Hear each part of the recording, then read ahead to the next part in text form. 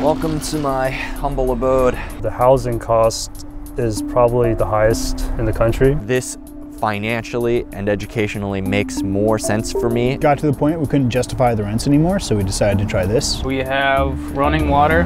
We cook about three to four days out of the week in here. Sort of a shower in the making we're working on. This is my bed. A little closet right here. I don't want to be thousands of dollars in debt when I leave school. A short-term sacrifice for a long-term success. Until I graduate, at least. It's a better option for me.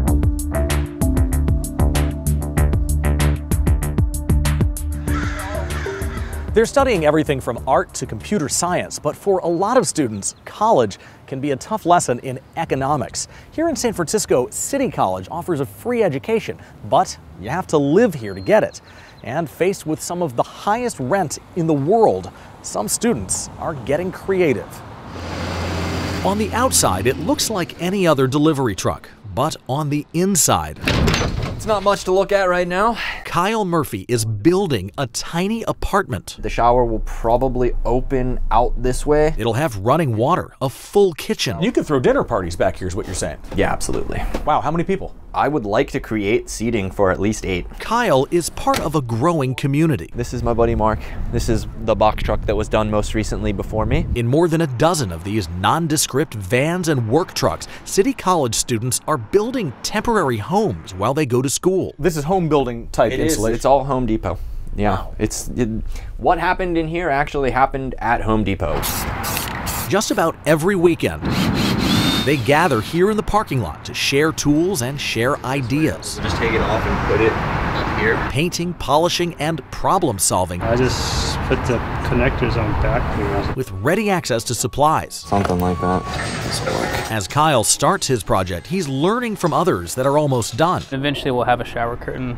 We have a hot water heater over here. From this Dodge van with a workspace that turns into a bed to Jimmy Woo's home on wheels. what did this used to be? This was like an ambulance. Jimmy's remodeling for at least the fourth time. There's a extending table right here for extra counter space. Oh, cool. So how often do you cook and what do you tend to cook in here? So I usually cook every day during school. Today I cooked uh, turkey curry in the Instapot. Oh, that smells nice. You could call this roughing it, but Jimmy and Kyle have both seen much worse. I did four years in the Army, active duty as a combat medic. Of the students who live in these vans and trucks, an overwhelming number are veterans. After serving their country, they're now entitled to an education. The GI Bill pays for tuition and also pays for housing. The post 9 11 GI Bill pays for four years of tuition plus a housing allowance that varies based on where you go to school.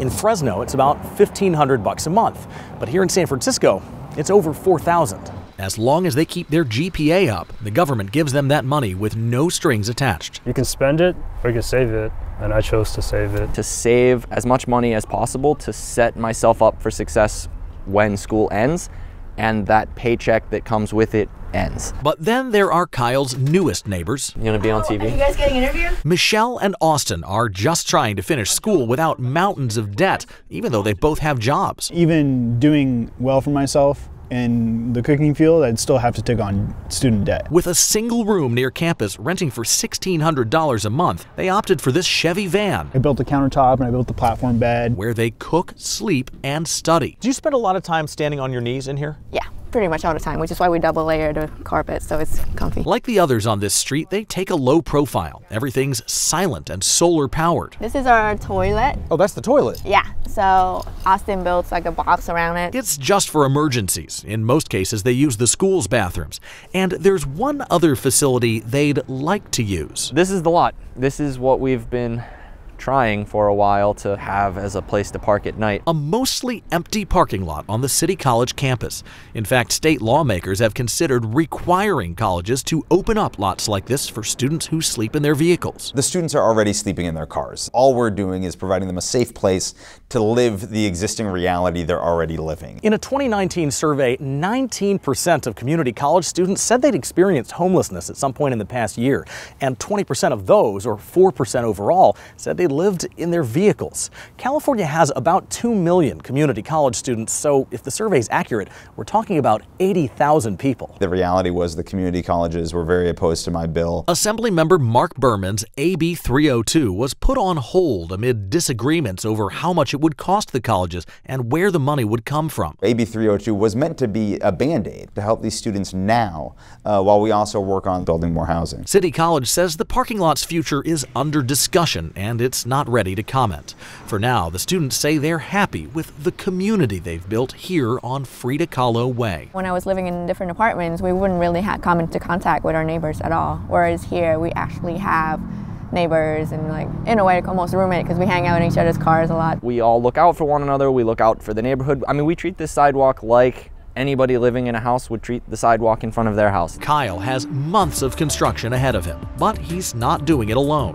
In the face of a housing crisis, this most unlikely and unconventional neighborhood has brought community to community college. I can't wait to cook a meal and call it home.